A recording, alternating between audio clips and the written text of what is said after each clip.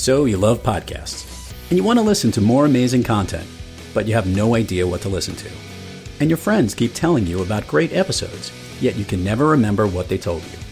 Well, here's the answer Good Pods. It's the social app dedicated to podcasts where your friends, podcast listeners, and favorite podcast hosts all come together to share on their feeds what they recommend and what they listen to. You can connect to others, bookmark episodes, start a conversation about the episode, connect to the hosts, and most importantly, listen to great podcasts right in the Good Pods app. Download Good Pods wherever you get your apps and start sharing with a community that loves to listen. Good Pods. It's where to connect and listen.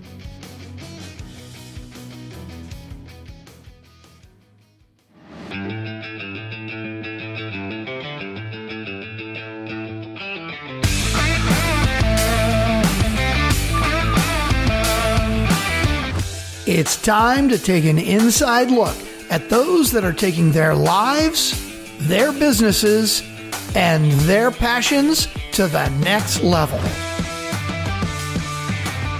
Get ready to thrive loud with Lou Diamond.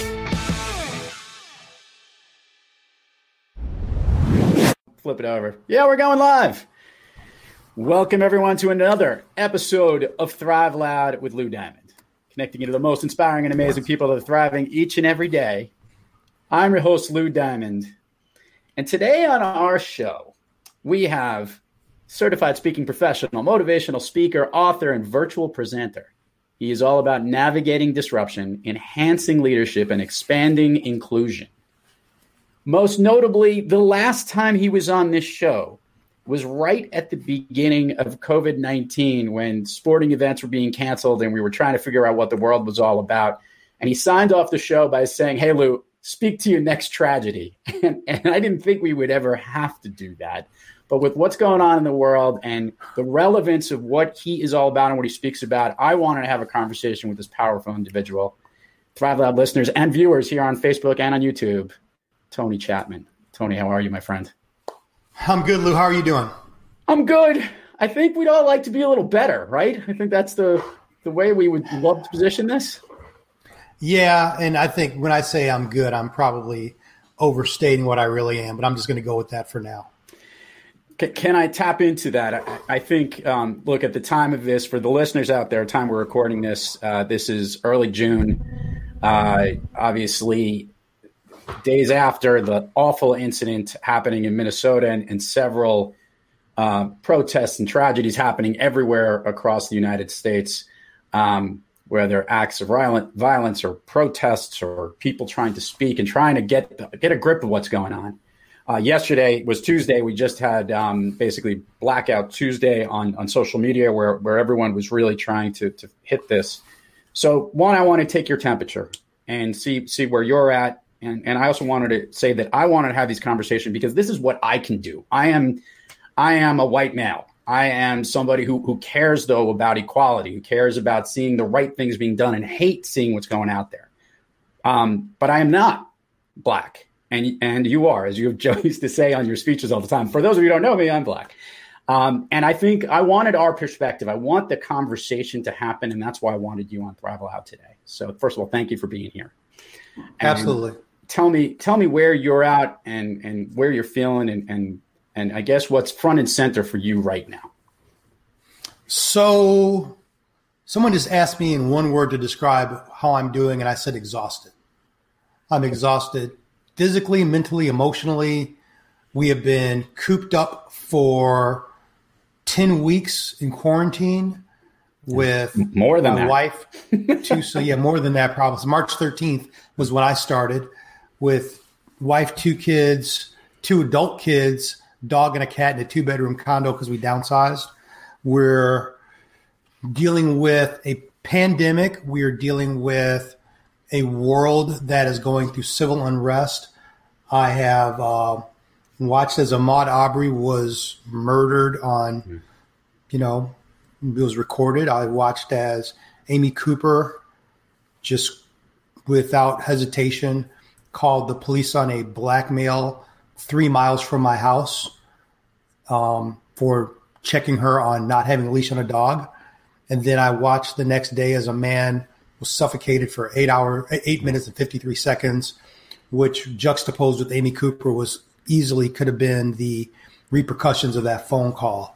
I, the same time, my wife on Thursday had to attend a funeral virtually of her aunt, her hmm. deceased mm. mom's last sister, because her aunt and um, her, her, aunt's husband just died from COVID 19. Um, I've spent the last five days just trying to correct people's perspective on world events. Uh, yeah, and I'm sleeping about three and a half hours a day. I'm I'm pretty exhausted.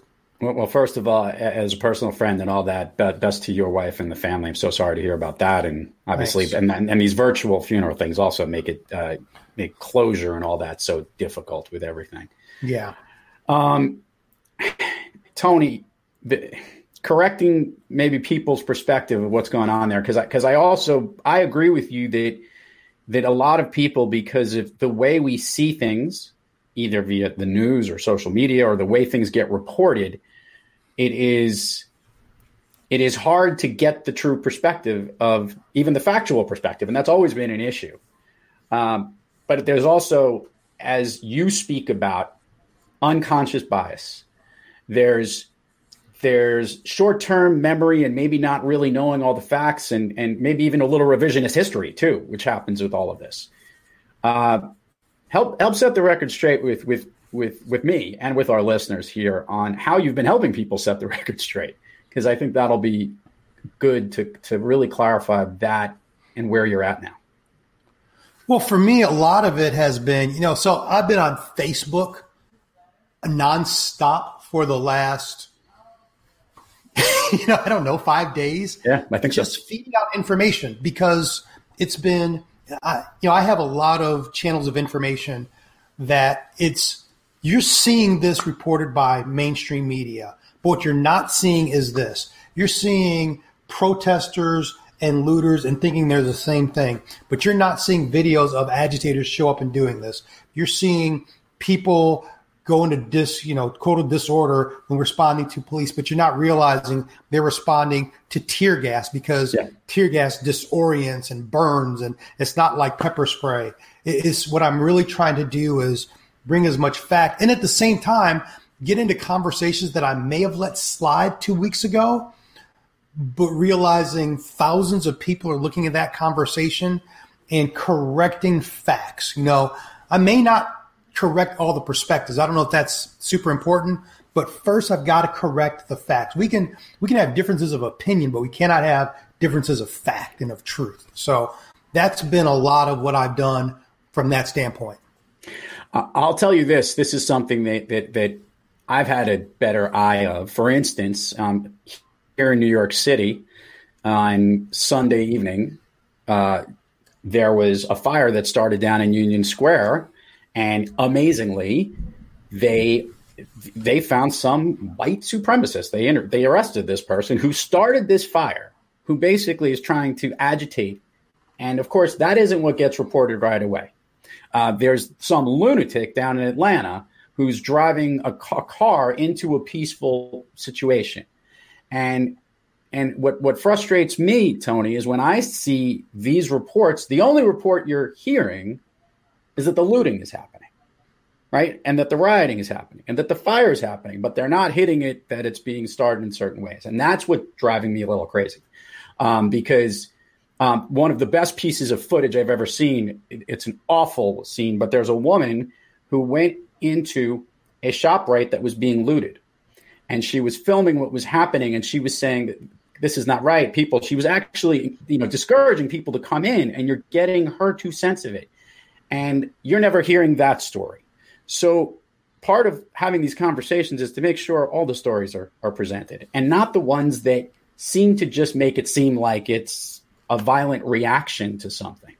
What's your yeah? Can I even add on that? Yeah. Well, not, not only not to seem like it's a violent reaction of it, but not the story that confirms what you already believe. Correct. Because what a lot of people are doing is they are hearing or seeing or feeding themselves information that confirms their previous belief.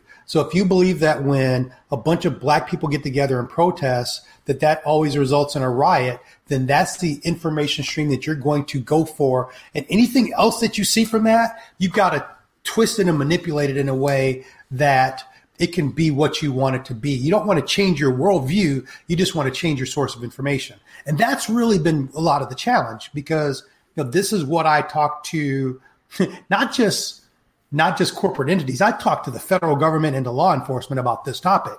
So this is very near and dear to my heart.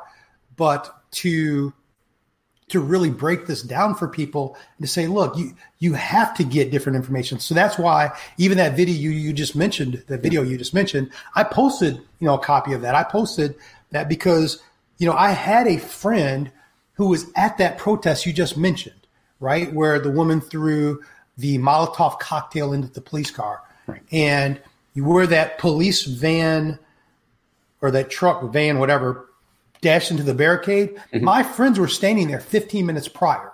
Okay. Mm-hmm. But what's interesting and what I've been really telling people, just like what you said, you know, I got to do what I can do.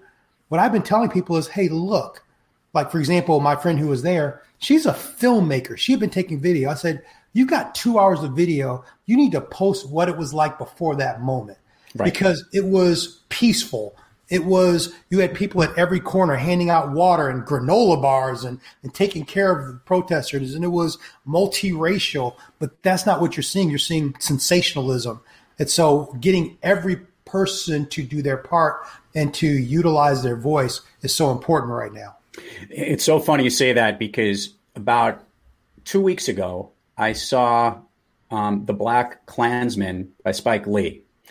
And if you do you saw the movie? You did see it? Of course, yes. Okay. okay. Shouldn't say of course, but yes, I saw it. Yeah, no, but you saw. Um, at the end of the movie, he provided footage from what happened in Virginia, right by the University of Virginia, when those riots were happening by the the Charlottesville, yeah, Charlottesville. Thank you. And he showed a footage I'd never seen before of of a car just ramming through and crashing into people, innocent. I'd never seen that footage before, and I saw it in the in, in, the movie. And I said, did I not see that in the movie because the media chose me chose not to show that, or it just never came across, or maybe it was just too graphic and violent for television? Very possible. Um, or maybe I'm going to the wrong news sources. And, and, and I, that's the other problem is I don't even know where to go to get the right information because what we what we want there when there's universal acceptance of something that we can all understand, like the terrible acts that the police officer had in Minnesota. Nobody has any questions that that is dead wrong. That guy needs to be prosecuted the full extent of the law. But there's the it's these the wave effects of everything else that's happening that I feel that we can never get the right consistent level of viewing of that communication. Tony, the question I guess I have is where do we go from here and what what can we all be doing better every day? Because you have you have a show, which I'll, I'll give the plug here, because like I, I, I thought of all this when you you and your buddy do a show about did that just happen, and um and I and I can't believe the world that we live in either that this is what's going on, but I want to be able to figure out how we can make it better. And I figured maybe the two of us could just have a conversation about steps we could start to take, things we should start doing. What are the things sure. that you think? we could be doing. No pressure. Well, let's yeah, yeah. Let's, let's start back. Yeah, no pressure at all. Let's start back with that source of information and what's good news and what's not. Because even though that that video you mentioned of Charlottesville, I've seen that video footage many times. So the fact that you haven't, I think, uh, is a clear indication that we don't have good media sources. Yeah. And media's gotten lazy. Honestly, it's it's a shame. So before I post something, I am doing a lot of research to confirm it. And I've learned you can't just confirm it on media sites because I've done that before and then found out half an hour later after I posted it that it was still fake.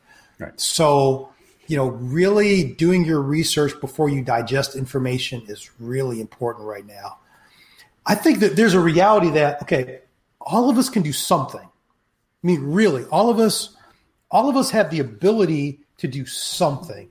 And you know, there are some people, they are activists, and what they can do is they can go out and they can march and they can influence, and they have energy and they have power and they never get tired of doing that. And so, yo, go do that. You know, some people are organizers and, and they can, you know, round up people. Go do that. But here's what the thing is all of us have a circle of influence. And my thing is, you may not be an activist or an organizer, but you know people. Yeah. And let me say this because this is really important. You said, you know, we can all agree that the murder was atrocious and wrong. Unfortunately, we cannot. Like, if we, I've dug into my Facebook feed beyond what the algorithm constantly sends me, and I found those little crevices of people who are like, well, you know, that's what you got to do to those people. So that that is a well, but you know, here's the thing: that is a a reality of our society which we can't ignore. And because we have maybe a certain friend group and our social media feed has, you know, a certain algorithm, we can start to believe that the whole world is turning. And I promise you, the whole world is not turning. So going back to that, you know, you have a very specific set of circles of influence, right? Whether it's your your podcast audience, whether it is your fellow Cornellian alumni, whether it is people in your speakers association, and really influencing them. Like I'll tell you what I did. So I had a uh, I got a text on Friday from a good friend, and he kind of wrote wrote this really detailed, thought out response from you know his perspective of all that's going on. And I said, okay, so this looks like it's like a real response, not a text. What'd you do? Because I posted it on you know our our organization site. Now backing up, he's a law enforcement executive. He mm. recently retired because, you know, he was up for a presidential appointee. That's the kind of person he is. I said, okay, here's the problem. The world needs to see this, not just your organization. You're preaching to the choir. And so, A, I spent time convincing him that's what needed to be done, and then literally walking him through how to turn this into a LinkedIn article and then how to hashtag it and then how to share it to them. And it's gained traction, but it was just like, I know this person. That's my influence. That's what I can do. You know, I got up Saturday, Sunday morning and exhausted, thinking, okay, I think I've talked to everybody. I thought, oh, my basketball chat group, which I, you know, moved away. I don't play with them that much anymore. But let me see what they're thinking. And that's rele- that's very relevant because 60% of that group is NYPD. And so I needed to, okay. And they're all like, you know, something seems to be wrong, but you know, it, I drove past that. It didn't look right. And I just started building a case that by the time they were done, they're like, okay, you nailed this on the head. We get it. And because some of them are detectives and sergeants and they have influence, I was like, how do I influence influencers? Not everyone can do that, but you know what?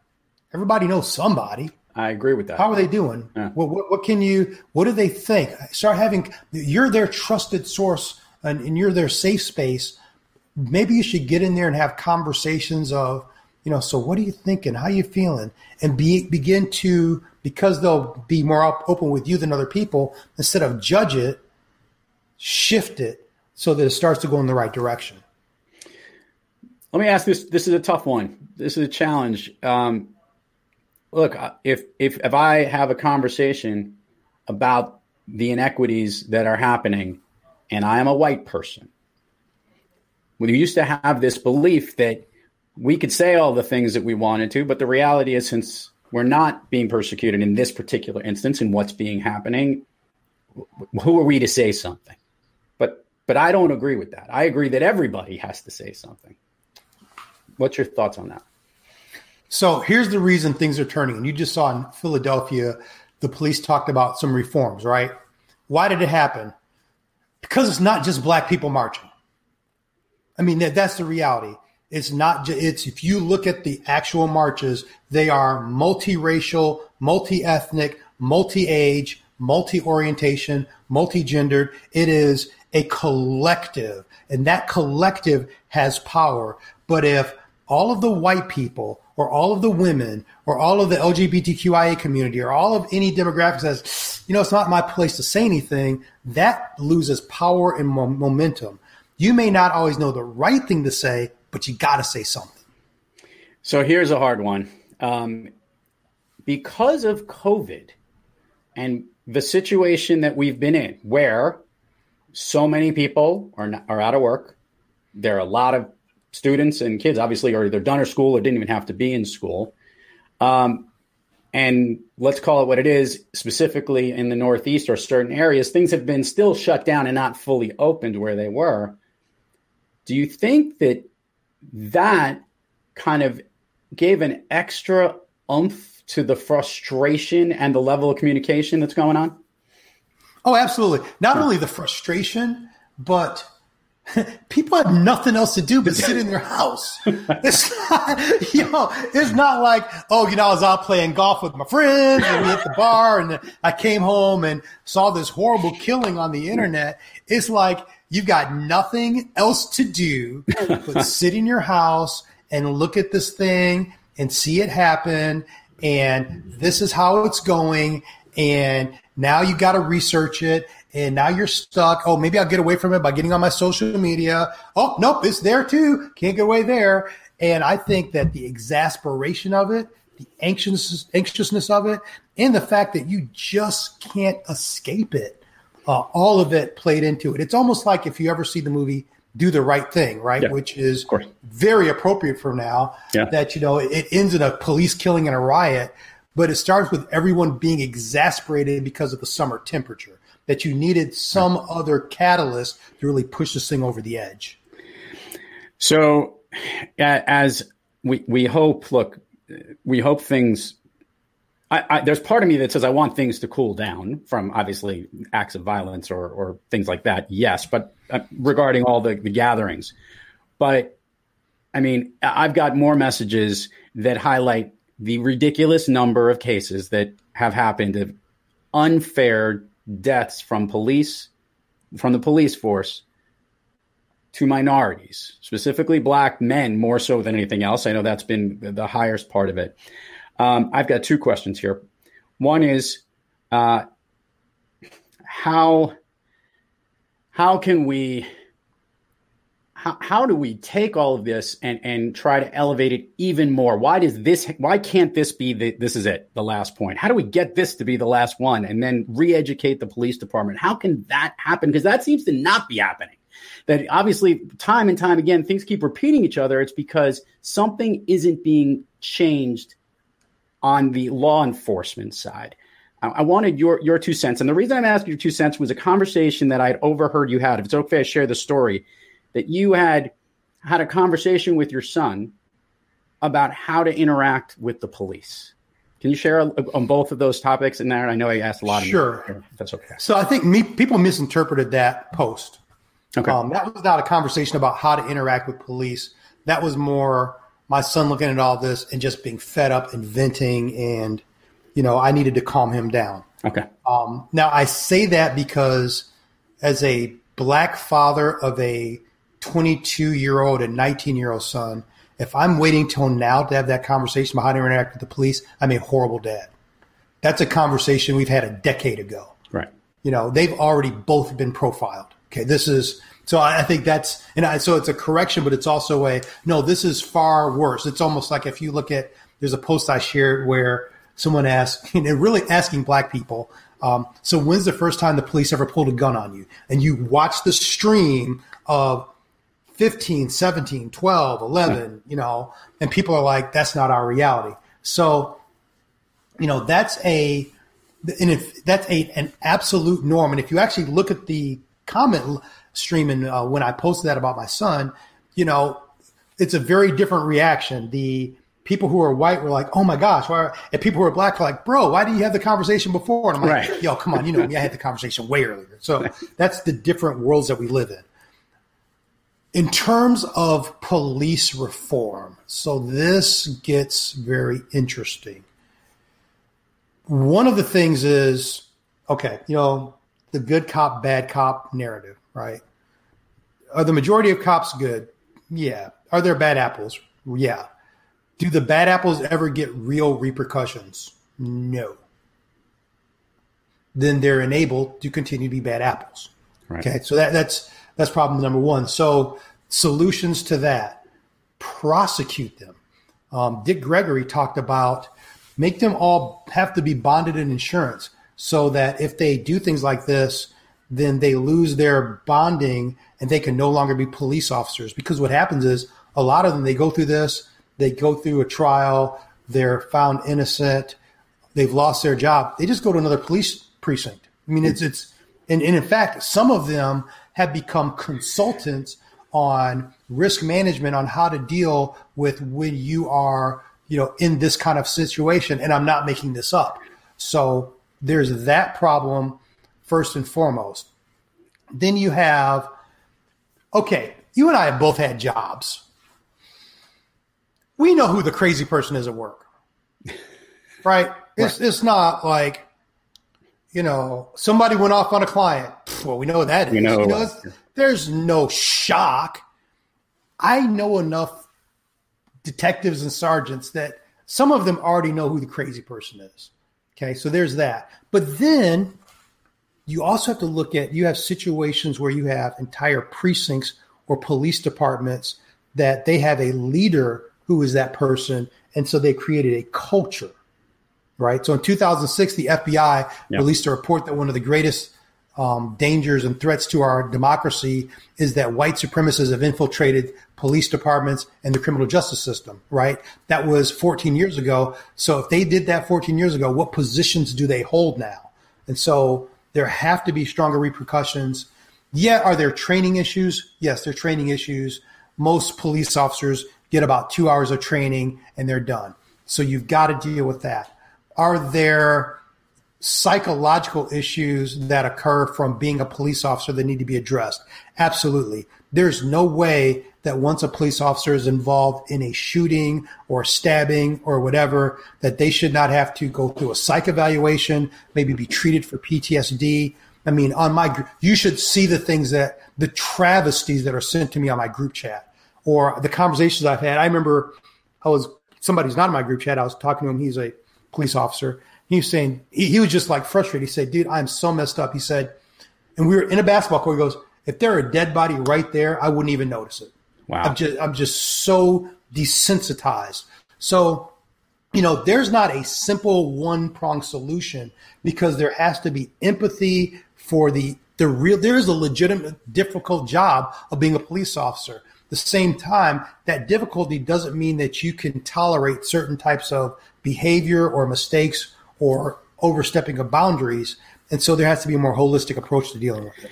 I can't believe I'm going to say this, but when you were giving that example of what was happening to police officers and they'd get, you know, bonded or, or being able to be a police officer in a different precinct, all I kept thinking about was the Catholic Church and the sexual abuse scandal in the same thing yeah. that had happened where they would just take a priest after a certain instance and they would move them just to another parish. And and yeah. and that just ran through my head. And if that if that parallel helps people to connect how serious um, these issues are, maybe maybe that's something that needs to be addressed. Um, I, I, I, feel, I do feel though that maybe it starts at a high level of culture, but there also is a culture of the other officers. Like, yeah, there's the crazy one in the office, like this guy's putting his knee on the guy's throat, but there's four other guys around him who are just equally to blame. They should be tasing that officer to get him off him. I'm just saying that's that's my my yeah. mindset where it's at, and they got to get that correct. So they know the guy's down. you, or you could tase the guy if he wants to be down, even though he doesn't deserve it. Um, yeah, they're they're complicit. They're absolutely right. complicit. All this being said, as in, we're all, you know me, I'm always about moving onward and upward and how we could take everything and learn from it and get better from it. Um, as it relates to your family, like you said, you got you had some anger with with with with your your your kid was frustrated and and justifiably, like everybody is. Uh, and in having the conversation, you hope that helps, and that you hope is where it gets to. Um, how how have you been communicating it on whether on your show or in your message? How has this been translating and been filled in? Because I know how you work. I know how you, you know you take the real life stuff and try to figure out the lessons and this, the ways we can solve this to bring more awareness to this. But if you could summarize it, is there one bubbling thing that's coming to a head without any sleep that you've been going through, or no? Um, one thing I don't know if there's one thing. Um, I think that we're at a, a major crossroads. You know, so I'm I'm both very concerned about our future and very hopeful about our future at the same time. Yeah um, we can devolve into the point where this is like the falling of the Berlin Wall. That could very easily happen at this stage. Or we could evolve into the point where we have a society that's willing to now start discussing the atrocities of the past and what it takes to become what it needs to be. The thing I've, I am is I'm very pragmatic. I don't use this time to just respond emotionally because it's not effective or helpful. Um, you know, unfortunately, our show is on hold right now because ah. my co-host has some health issues, and I was even thinking this morning, like, this is the most pivotal, appropriate time for us to be talking, and we're not.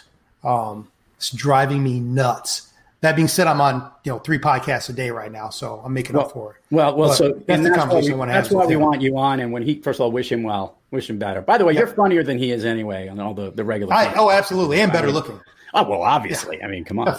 yeah, no. Although brainer. I like I like his hairstyle a little bit more than yours. Just just saying. I mean, you know. Well, not you, that, you know. not with the new one, baby. I'm good. yeah, well, yeah, it is closer to yours. I'll give you that. He and I are a little closer on that front. Yeah, um, dude, I can't thank you for taking the time here to come on. Um, first of all, get some rest. Second of all, you know, be safe. Let's hope we start getting out and further down the, the progress and uh, from the COVID thing, and we start moving along there you know, you and I feel that from our college kids, so that you're not all stuck yep. in the apartment together. Um, yeah. and, and, and hey, man, I, am going to continue having the conversation, and and I and I, I, really appreciate you sharing your thoughts and your and your wisdom here too, because I know our listeners do appreciate it, and it really means a lot. Definitely. Thanks for having me on, and uh, you know, let's let's maybe even see if we want to in a few weeks circle back around and do a revisit of this as things evolve. And you know, I'd be more than happy to lend my voice and you know contribute to the show. You know, you're my you know we're friends way beyond yeah. this stuff. So um, yeah, look forward to it. But thanks for having me on. You got it, man. And to all our listeners out there, thank you for joining us. Keep thriving onward and upward, and be brief, be bright, be gone. You've been listening to Thrive Loud with your host, Lou Diamond. Check us out on the web at thriveloud.com and follow us on Instagram, LinkedIn, Twitter, and Facebook at Thrive Loud. And check us out on the Good Pods app at Thrive Loud, where you can follow, listen, and connect directly to Lou and all of the Thrive Loud episodes. Thanks for listening.